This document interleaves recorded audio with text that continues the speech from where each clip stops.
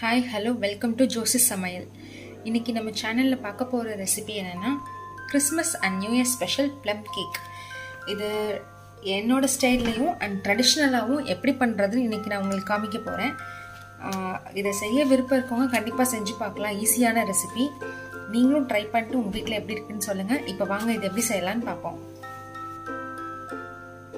நான் இங்கே fifty grams fresh dates and dried டேட்ஸும் சேர்த்து ஃபிஃப்டி கிராம்ஸ் எடுத்திருக்கேன். And cherry thirty gram thirty grams cherry எடுத்திருக்கேன்.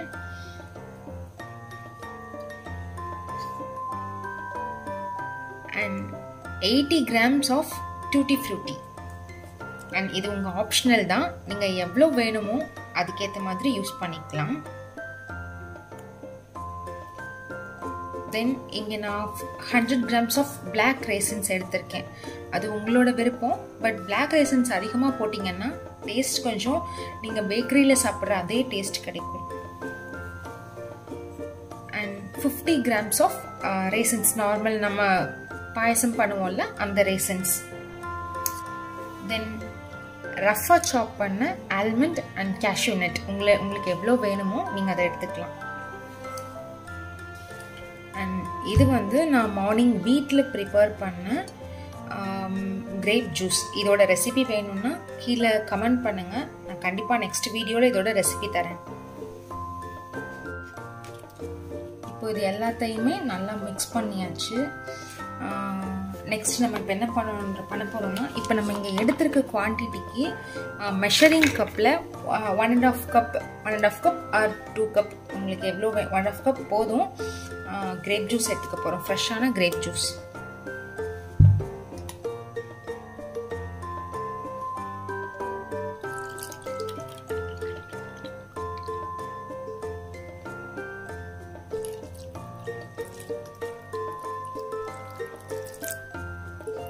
மிக்ஸ் பண்ணி பாருங்க போதுமானதோட அளவு. இது போதும்னா வச்சுக்கலாம். பத்தலைன்னா ஒரு ஹாஃப் கப் ஆட் பண்ணிக்கோங்க.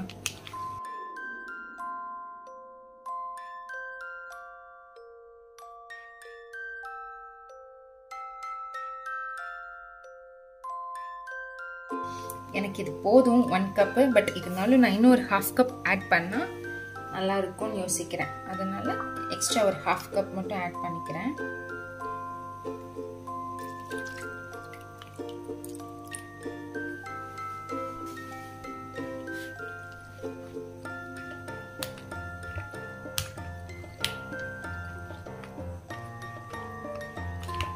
உங்களுக்கு விருப்பம் இருந்தால் நீங்கள் apricot prunes and dried berries mixed berries போடலாம்.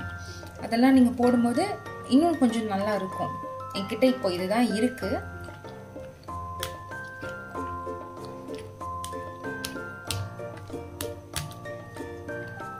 ஸோ இப்போ இதை நான் ஒரு கிளாஸ் கண்டெய்னருக்கு ட்ரான்ஸ்ஃபர் பண்ணிக்கிறேன்.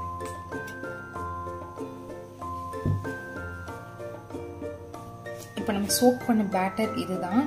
இது நீங்கள் கிரேப் ஜூஸ் அதிகமாக இருக்குன்னு நினைக்க வேண்டாம். இது கண்டிப்பாக எயிட்டாக சோக் ஆகும்போது இது எல்லாத்தையும் அப்சர்வ் பண்ணிக்கிறோம். மீதி one or two two two three tablespoon மட்டும்தான் உங்களுக்கு கிரேப் ஜூஸ் இருக்கும். ஸோ நீங்கள் எக்ஸஸாக இருக்குன்னு ஃபீல் பண்ண வேண்டாம். இப்போ இது ரெடி ஆகிடுச்சு இதை நம்ம க்ளோஸ் பண்ணி எயிட் விட்டுட்டு நெக்ஸ்ட் பார்ப்போம். இப்போ நம்ம கேக்குக்கு பேட்டர் ரெடி பண்ண போகிறோம் அதுக்கு இங்கே நான் ஒரு பவுல் எடுத்திருக்கேன். இங்கே நான் அஞ்சு முட்டை எடுத்திருக்கேன். யோக்கோட சேர்த்து. உங்களுக்கு ஆப்ஷனல் இருந்தால் நீங்கள் நாலு எடுத்துக்கலாம். அஞ்சு முட்டை போட்டிங்கன்னா இன்னும் கொஞ்சம் சாஃப்டாக கூட இருக்கும் கேக்கு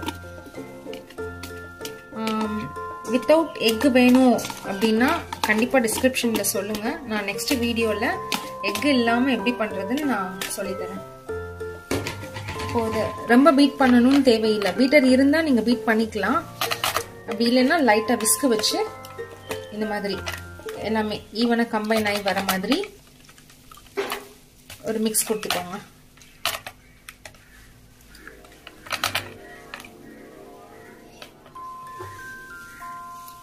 நான் இங்கே பட்டர் ஃபிஃப்டி கிராம்ஸ் எடுத்திருக்கேன்.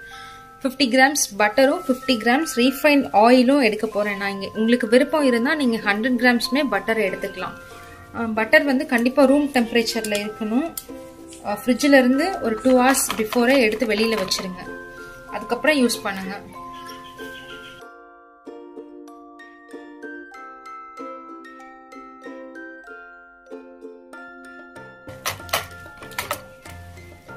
இதை விஸ்கு வச்சு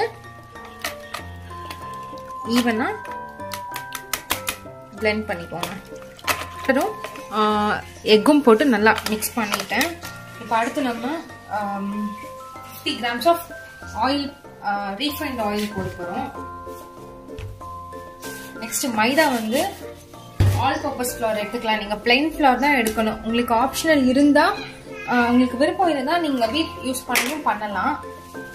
இப்போ எக்கும் பட்டரும் போட்டு ஈவனாக மிக்ஸ் பண்ணி வச்சாச்சு. நெக்ஸ்ட் வந்து இங்கே நான் மைதா ரெண்டு கப் எடுத்திருக்கேன். Um, அதை ஒரு ஜல்லடை வச்சு நல்லா ஜலிச்சு எடுத்துக்கோங்க. அப்பதான் உங்களுக்கு டீ சேராம இங்கே நான் ஒரு டீஸ்பூன் ஆஃப் பேக்கிங் பவுடர் எடுத்திருக்கேன். One fourth teaspoon of baking soda. Baking soda எப்பயுமே கம்மியாக தான் இருக்கணும். இதுக்கு ஃப்ளேவர் கொடுக்கறதுக்காக சுகர் நம்ம நான் ரெண்டு கப் சுகர் சொல்லியிருப்பேன். ரெண்டு கப் சுகர் தேவை. ரெண்டு கப் மைதாக்கு ரெண்டு கப் சுகர் வேணும். நான் அதில் ஹாஃப் கப் சுகர் மட்டும் எடுத்து இங்கே நான் பொடிச்சு வச்சிருக்கேன். இதில் வந்து ஆதிக்காய் இலக்காய் அண்ட் ட்ரை ஜிஞ்சர் சேர்த்து பொடிச்சு வச்சிருக்கேன். அதை வந்து சுகர் போட்டு பொடிச்சுக்கிட்டிங்கன்னா உங்களுக்கு நல்ல பவுடர் ஆகி வரும். ஸோ இங்கே இதை ஆட் பண்ணிக்கலாம். ஸோ இதை நல்லா சளிச்சுக்கலாம் இப்போ. ஸோ இப்போ இதை நல்லா சளிச்சு எடுத்துகிட்டு வந்துட்டோம். இதை கட் அண்ட் ஃபோல்ட் மெத்தடில் நல்லா ஃபோல்ட் பண்ணிக்கோங்க.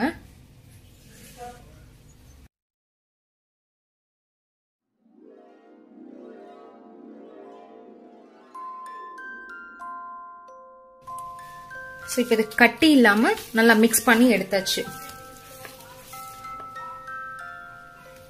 இது நம்ம நைட்டு சோக் பண்ணி வச்சோம்ல ட்ரைடு ஃப்ரூட்ஸ் அண்ட் கிரேப் ஜூஸில் சோக் பண்ணோம்ல அது இப்போ இதை ஃபில்டர் பண்ணிக்கலாம் நம்ம. இப்போ நான் இங்கே ட்ரை ஃப்ரூட்ஸை வந்து ஃபில்டர் பண்ணி எடுத்துகிட்டு வந்துட்டேன்.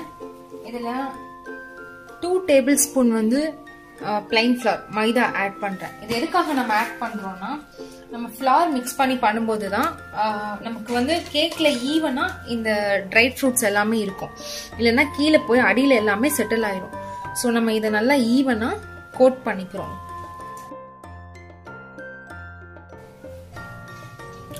இங்கே நான் ரஃபாக சாப் பண்ண ஆல்மண்ட்ஸ் அண்ட் கேஷ்யூ நட்ஸ் வச்சுருக்கேன். இது வந்து மேலே நம்ம கார்னிஷ் பண்ணுறதுக்காக தான் இதை நான் எடுத்திருக்கேன். ஸோ இதையும் நம்ம இங்கே மைதாவில் லைட்டாக கோட் பண்ணிக்கலாம். ஸோ அடியில் செட்டில் ஆகாமல் நீங்கள் மேலே கார்னிஷ் பண்ணும்போது அழகாக வரும்.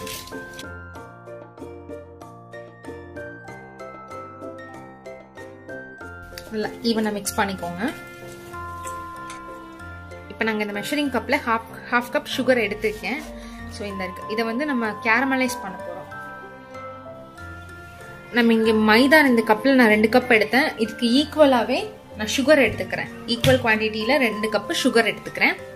இந்த கப்பில் ரெண்டு கப் சுகர் நான் அரை கப் சுகர் வந்து கேரமலைஸ் பண்ணுறதுக்கு ஃபர்ஸ்டே எடுத்துட்டேன். அண்ட் மீறி இருக்கிறதுல அரை கப் வந்து நான் பவுடருக்கு எடுத்துட்டேன். ஸோ இப்போ இதில் ஒரு கப் சுகர் எடுத்து பவுடர் பண்ணிக்க போகிறோம் நம்ம. இப்போ நம்ம பவுடர் பண்ணி இப்போ நம்ம பவுடர் பண்ணி எடுத்த சுகரை வந்து இந்த ஏற்கனவே ரெடி பண்ணி வச்சோம்ல பேட்டர் அதில் ஊற்றி மிக்ஸ் பண்ணிக்கலாம்.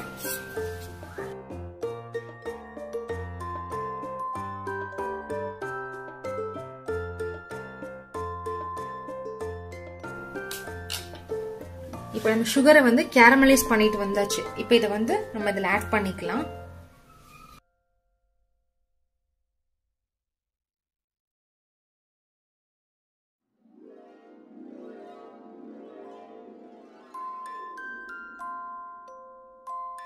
ஸோ இப்போ நம்ம இது நல்லா ஈவனாக மிக்ஸ் பண்ணிக்கலாம்.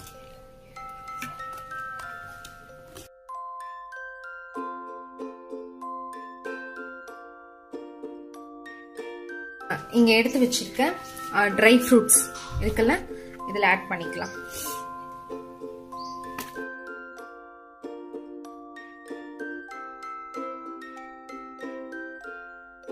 தென் நான் இங்கே ரஃப்பாக சாப் பண்ணி வச்ச ஆல்மண்ட்ஸ் இது.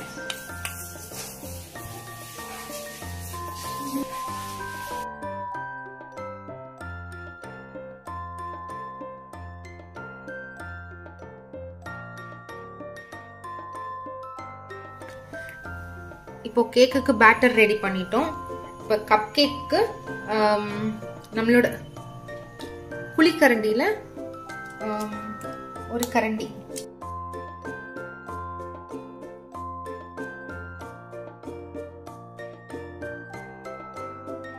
இப்போ இதை ஃபுல்லாக ஊற்றிட்டு நான் உங்களுக்கு காமிக்கிறேன்.